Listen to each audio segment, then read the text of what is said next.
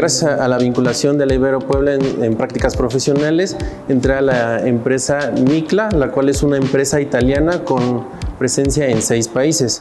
Y tengo la oportunidad de, en los próximos días, viajar a, Brasil a que me capaciten en el área de eh, electrónica en los carros eh, mi empresa es una empresa de consultoría en diseño para empresas automotrices. Voy a trabajar con Fiat Brasil y después regresar a México a capacitar al resto de mis compañeros que están aquí en Micla, México. Pues yo llegué a esta oportunidad porque prácticas profesionales, eh, tuve contacto con ellos desde que llegué de mi intercambio y un día me marcaron para ver si yo quería hacer esta entrevista, hice la entrevista, gracias a las habilidades que tengo, pues pude mantener el trabajo, la entrevista fue para una capacitación en CATIA B5, CATIA B5 es un software que la primera vez que me acerqué a este software fue por la Ibero. En la Ibero me dieron mis primeras clases de CATIA y ya aquí pude desarrollarme, expandirme mucho más.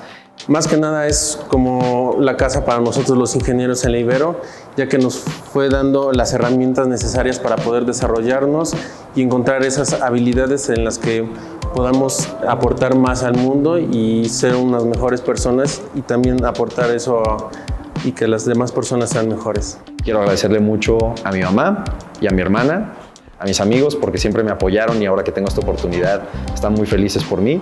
Quiero agradecer a la, Universidad Ibero por todas estas oportunidades que me, que me, han dado a lo largo de estas dos carreras y estos largos años de, de intenso estudio y esfuerzo. Me siento muy feliz.